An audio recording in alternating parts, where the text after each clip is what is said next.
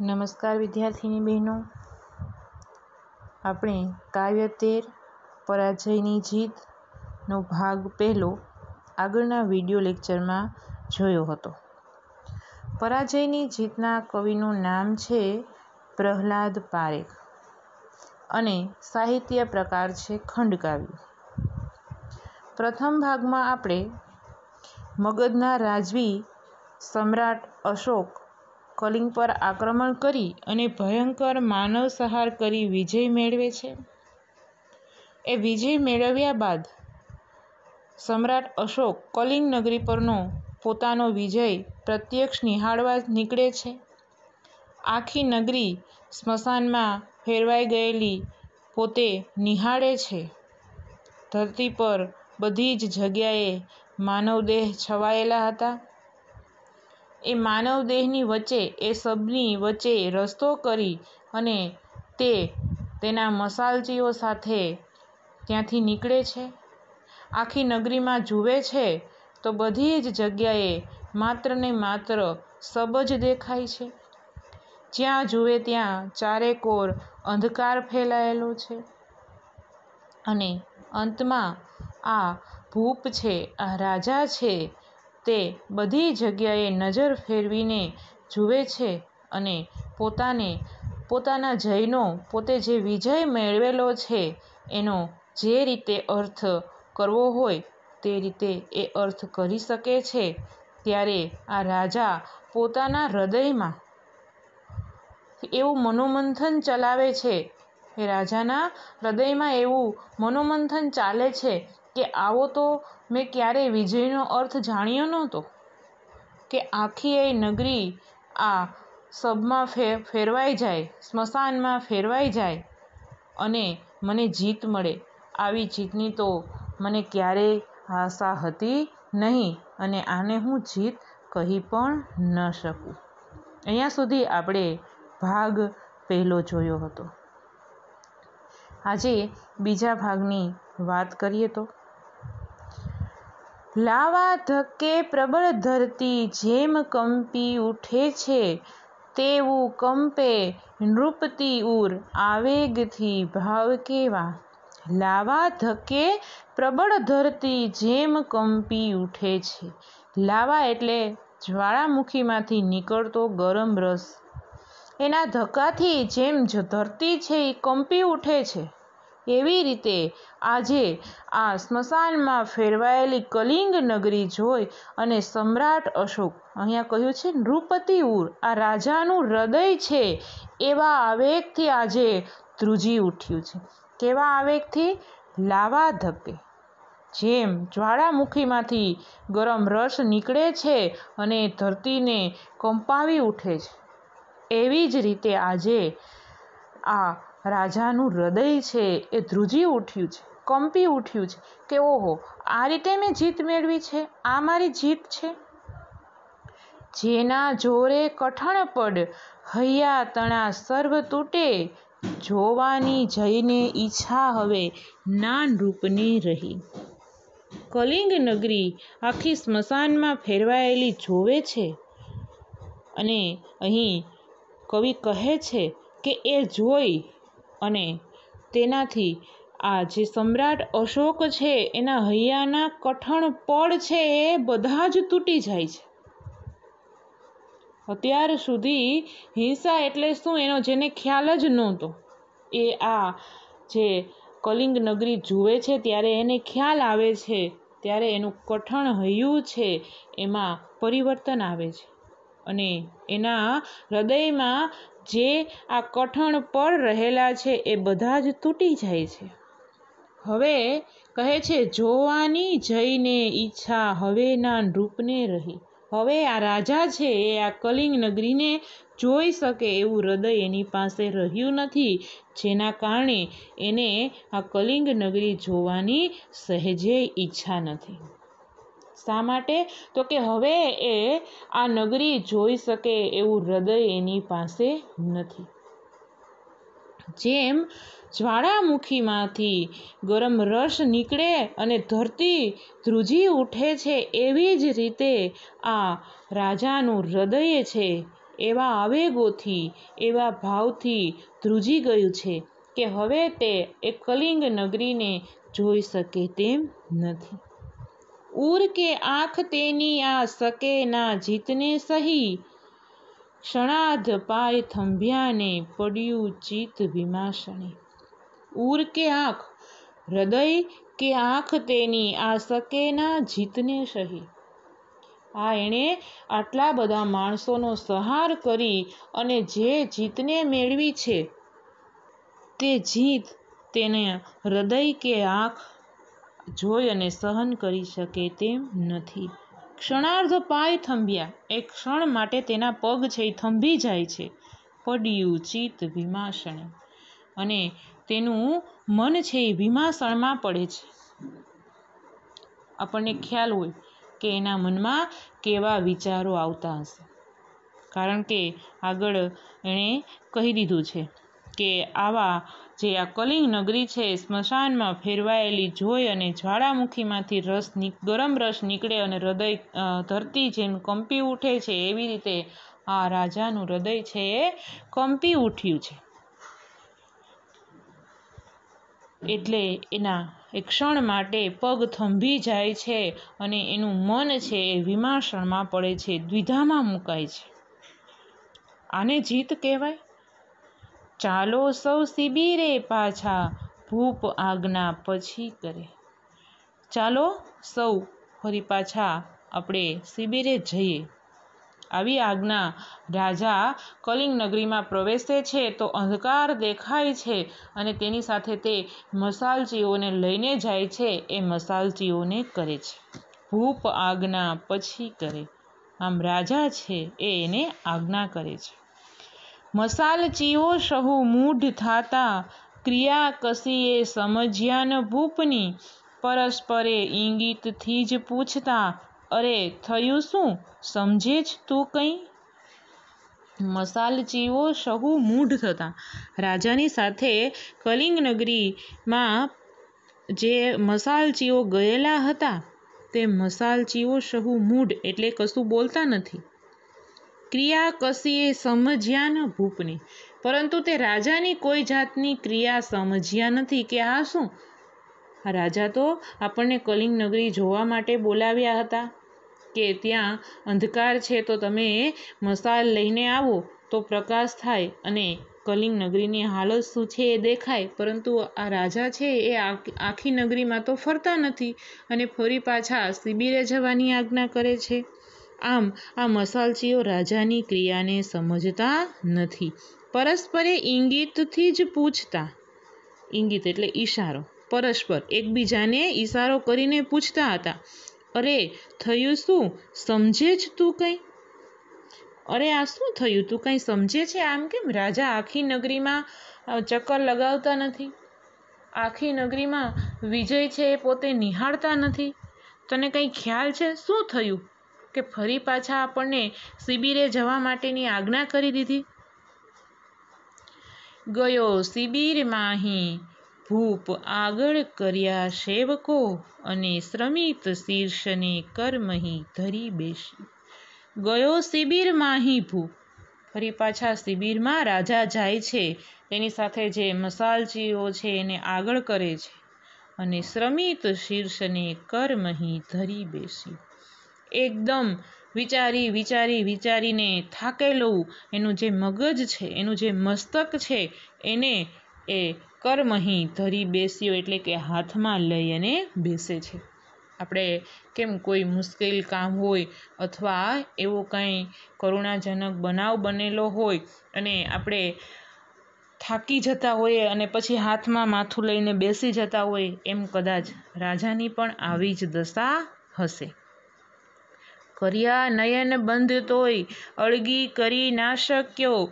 ભયંકર ભૂતાવળો વિજય દ્રશ્યની કિંતુએ. કર્યા નયન બંધ. રાજાએ આંખો બંધ કરી દીધી. તોય અળગી કરી ના શક્યો. પરંતુ તોય એ કલિંગ નગરીને અળગી કરી શકતા નથી. ખરેખર એવું બને છે કે આંખો બંધ કરીએ ને ત્યારે કોઈ પણ એવા દ્રશ્યો છે આપણને વધારે દેખાતા હોય છે. તો અહીંયા અશોક રાજાને પણ આવું જ થાય છે કે નયન બંધ આંખો બંધ કરીને બેસે છે. પરંતુ આંખો બંધ કરવા છતાં પણ આ રાજા છે એ કલિંગ નગરીને અળગી કરી શકતો નથી. ભયંકર ભૂતાવળો વિજય દ્રશ્યની કિંતુએ. પરંતુ આંખો બંધ કરતા, કરવા હોવા છતાં પણ આ ભયંકર ભૂતાવળો જે વિજય છે, રાજાનો તે દ્રશ્યો તેની સામે જ આવે છે. કે આ મારો વિજય છે? એવા પ્રશ્નો રાજાને પોતાને થાય છે. હજારો હૈયાને નિજ નિજ તણી સૃષ્ટિ સહમે અરે સંહાર્યા ને જીવિત ઉર ખંડેર કર્યા. હજારો હૈયાને નિજ નિજ તણી સૃષ્ટિ સહમે. એવા હજારો હૈયા છે કે જેને પોતાની સૃષ્ટિ હોય. અને એને મેં સંહાર્યા. એને મેં મારી નાખ્યા. એનો મેં સંહાર કર્યો ને જીવિત ઉર ખંડેર કર્યા અને જે જીવતા હૃદયો હતા એનું મેં, એના મેં ખંડેર કરી નાખ્યા. રાજાને પોતાને પશ્ચાતાપ થતો હોય એવું લાગે છે. મહતાએ મારી વિજય મુજે ગૌરવ ગણું અને એ ભૂમિની ઉપર જઈ મારો જય ચણું એ મારી? એ મારી મહાનતા છે? વિજય મુજે એ મારો વિજય છે? રાજાને આવી ઉર્મિઓ સ્ફુરે છે કે આ શું મારી મહાનતા છે? આ મારો વિજય છે? હજારો હૈયાના મેં ખંડેર કરી નાખ્યા છે. જીવતા હૃદયો હતા તેને ખંડેર કર્યા છે. એને શું હું ગૌરવ ગણું? રાજા પોતે પોતાના હૃદયને આવા પ્રશ્નો પૂછે છે. અને હવે કહે છે કે, એ ભૂમિની ઉપર જઈ મારો જય જણો. આ કલિંગ નગરીમાં જઈ આ સબોને ઉઠાવી અને ત્યાં હવે હું મારો જય ચણું અજંપો ઉગ્ર રાજાના હૈયાને આજ રહે દમી ભાર એ અંતરે આજ જયનો ના શકે ખમી. અજંપો ઉગ્ર રાજાના હૈયાને આજ રહે દમે. અજંપો. રાત્રે રાજાને નીંદર પણ આવતી નથી અને કહે છે કે આ રાજાના આજ આ હૈયાને એ એકદમ આવા સવાલો પૂછી રહ્યું છે કે આને મારી મહાનતા ગણું, મારો વિજય ગણું, મારો ગૌરવ ગણું કે પછી કલિંગ નગરી ઉપર જઈ અને મારો જય ચણું? આજે આ અજંપાએ રાજાને ઉગ્ર કરી દીધા છે. આ રાજાને કશું જ સૂઝતું નથી. માત્ર ને માત્ર આવા જ વિચારો આવે છે કે મેં તો કેવા વિજયની આશા રાખી હશે અને કેવો વિજય મળ્યો છે.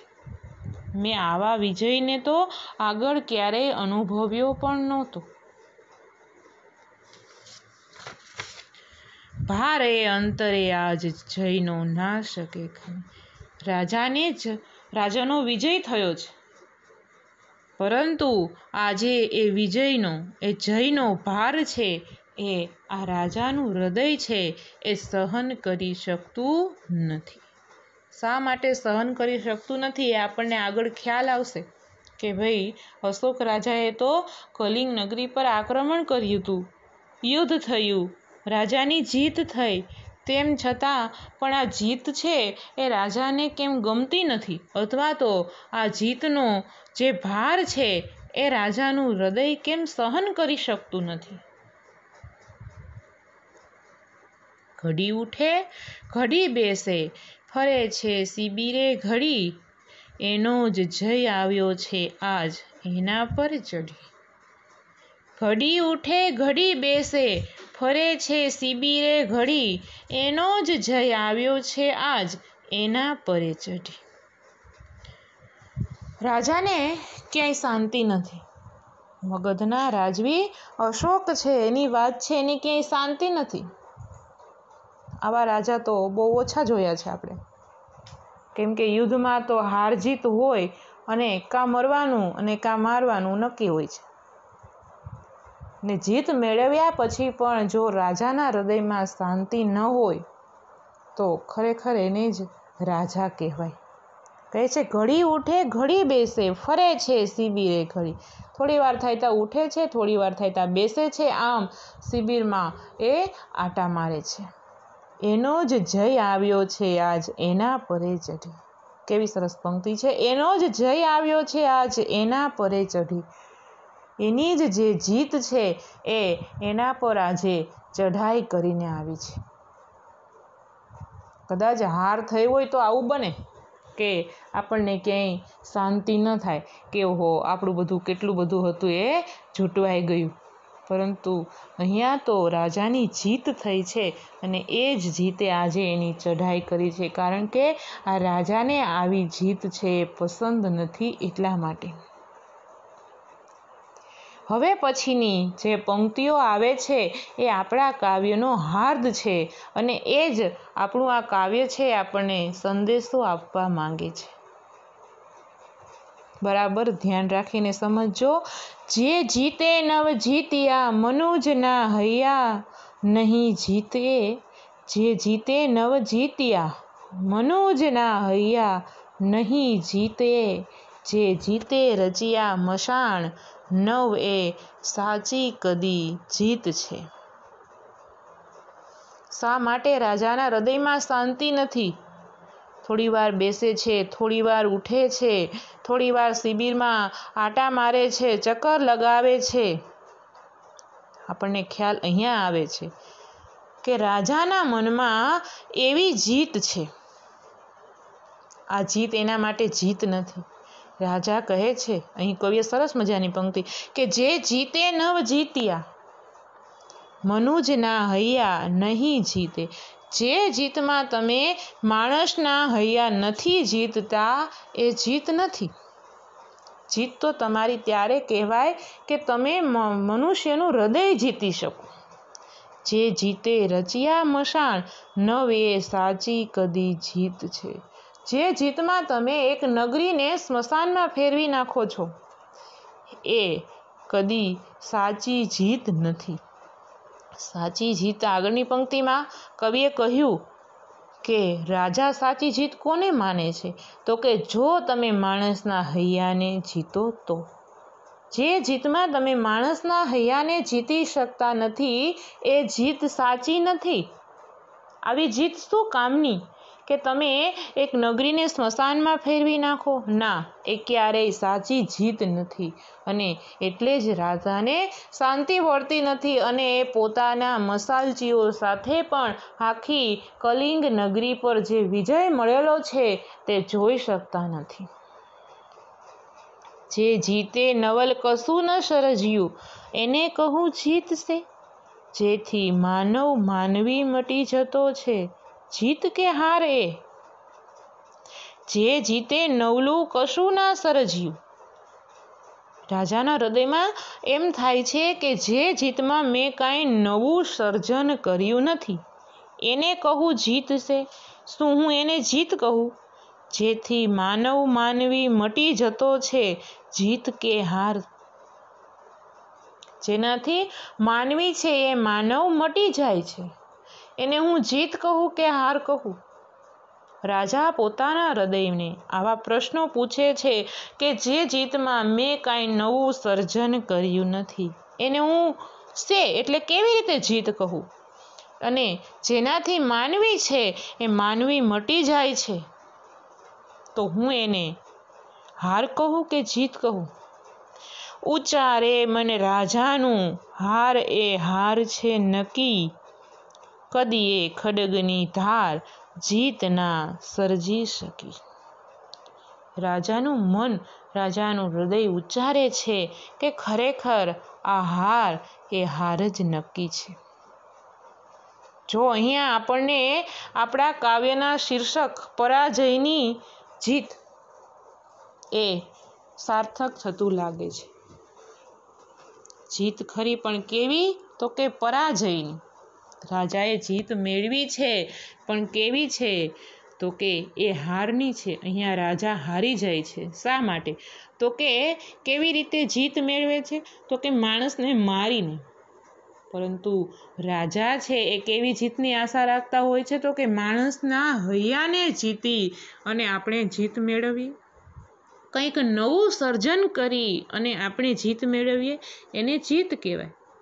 કોઈ માણસને મારીને, કોઈ નગરીને સ્મશાનમાં ફેરવીને. તમે જીત મેળવો છો તો એ જીત નથી.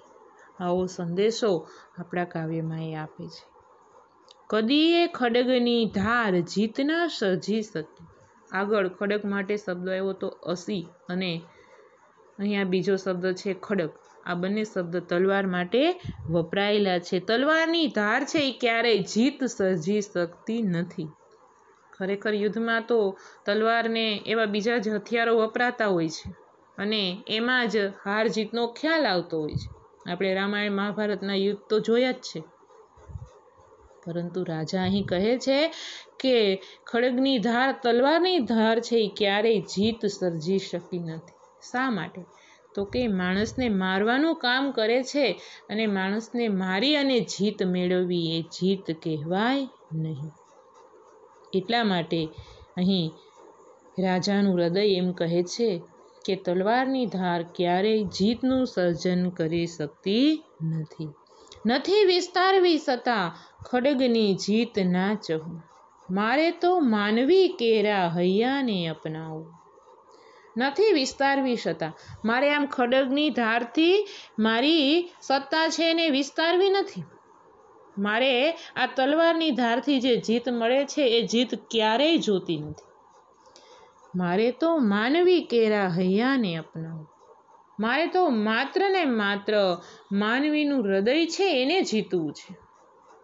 મારે માણસને મારીને જીત મેળવવી નથી અને એટલા માટે એ ખડગની જીત છે, એને ચાહતા નથી, એને ઈચ્છતા નથી. કારણ કે ખડગની ધાર છે એ માત્ર ને માત્ર માનવ સંહાર કરવાનું જ કામ કરે છે. હૈયાની શક્તિથી કોઈ અન્ય શક્તિ નથી વડી. આજથી કર્મા મારા રહેશે ધર્મની છડી. રાજા કહે છે, હૈયાની શક્તિથી, હૃદયની જે શક્તિ છે, એનાથી અન્ય શક્તિ નથી વળી. એનાથી કોઈ મોટી શક્તિ નથી. આજથી કર્મા મારા રહેશે ધર્મની છડી. અને આજથી મારા હાથમાં ધર્મની છડી રહેશે. ધર્મ જેમ કહેશે એમ જ હું કરીશ. હું આવી કોઈ જીતની લાલચ રાખીશ નહીં. શા માટે? તો કહે છે કે હૈયાની શક્તિથી બીજી કોઈ શક્તિ મોટી નથી. બસ માણસનું હૃદય જીતી શકો એ જ મોટી જીત છે. માનવ સંહાર એ મોટી જીત નથી. જીત મેળવેલી હોવા છતાં પણ રાજાને એમાં હાર દેખાય છે. એટલા માટે રાજા કહે છે કે આજથી મારા હાથમાં ધર્મની છડી રહેશે અને ધર્મ જેમ કહેશે તેમ હું કરીશ. તમે હવે ખડગ રહો જ મ્યાનમાં કલ્યાણમાં માનવના નકામા. ઓ ધર્મ આદેશ દિયો તમારો, ને એ જ થાશે બસ માર્ગ મારો. ખડગ, તલવારને રાજા કહે છે કે તમે હવે મ્યાનમાં રહો, એ જ સારું છે. તમે માનવના કલ્યાણમાં નકામા છો. તમે કોઈ કામના નથી. માનવનું જો કલ્યાણ કરવું હોય, તો એ માટે તમે નકામા છો. તમારે મ્યાનમાં રહેવું એ જ બરાબર છે. અને ઓ ધર્મ, હવે તમે તમારો આદેશ આપો. ને એ જ થશે બસ માર્ગ મારો. અને ધર્મ જેમ કહેશે, એ જ મારો માર્ગ છે, એ જ રસ્તે હું ચાલીશ. આમ, અહીંયા રાજા છે, તલવારને મ્યાનમાં મૂકી રહે છે અને ધર્મને અપનાવે છે. અહીંયા આ સમયમાં આપણને ખૂબ જ સારો સંદેશો આપતું આ કાવ્ય છે. કે માણસને મારી મચોડીને પણ આપણે અમુક સત્તા છે એ લઈ લેતા હોઈએ છીએ. કોઈ નાની નાની બાબત માટે આપણે માણસને બિચારાને હતો નહોતો કરી નાખીએ છીએ. તો કાંઈ પણ વસ્તુ મેળવવી છે તો અહીંયા રાજા એવો સંદેશો આપણને આપે છે કે તમે માણસના હૈયાને જીતીને તમારે જે કાંઈ મેળવવું છે તે મેળવો. તેને મારીને નહીં. પૂર્વમાં તે જ કેરી ત્યાં દેખાય નવ મંજરી. રાયના અંતરે શ્રદ્ધા નવા લે તે જ સંચરી. બસ અહીંયા નવી દિશા રાજાને દેખાય. મ્યાનને ખડગમાં મૂકી દીધી અને ધર્મને હાથમાં લીધો. આમ કરવામાં એને નવ મંજરી એટલે કે નવ ચેતન નવી જાગૃતિ દેખાય છે.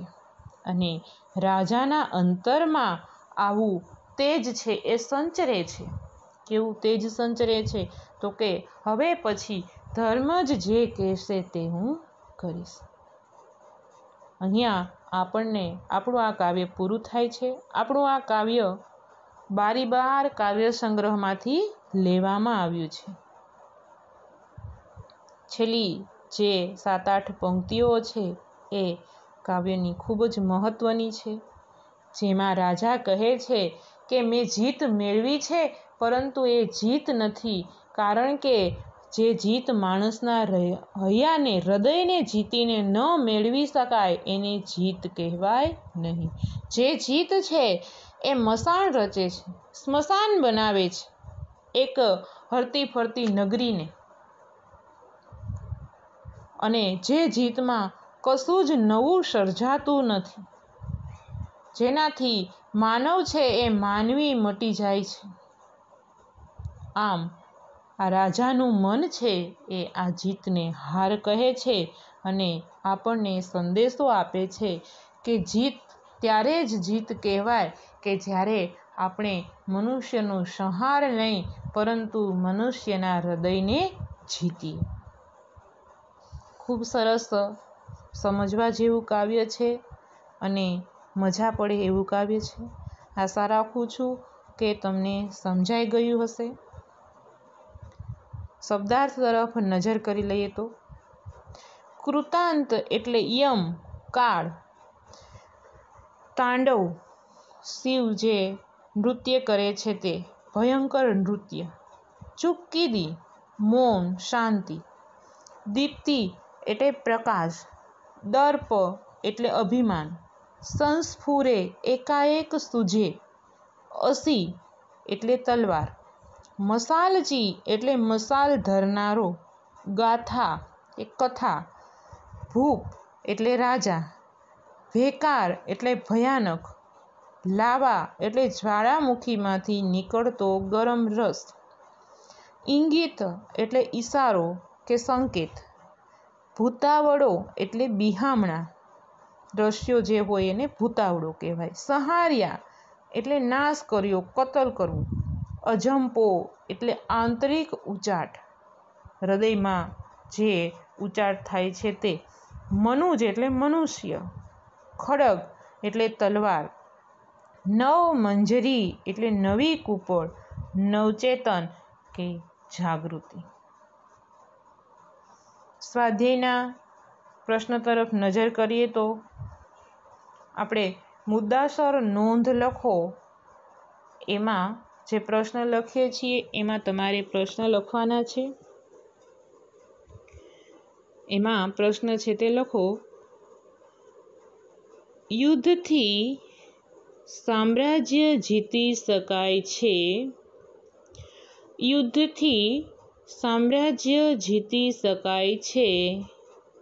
હૃદય નહીં હૃદય નહીં, કાવ્યને આધારે આ વિધાન સમજાવો. યુદ્ધથી સામ્રાજ્ય જીતી શકાય છે. હૃદય નહીં, કાવ્યને આધારે આ વિધાન સમજાવો. પ્રશ્ન બીજો, પરાજયની જીત પરાજયની જીત ખંડકાવ્ય દ્વારા રજૂ થતો માનવ સંદેશ તમારા શબ્દમાં લખો. પરાજયની જીત ખંડકાવ્ય દ્વારા રજૂ થતો માનવ સંદેશ તમારા શબ્દમાં લખો.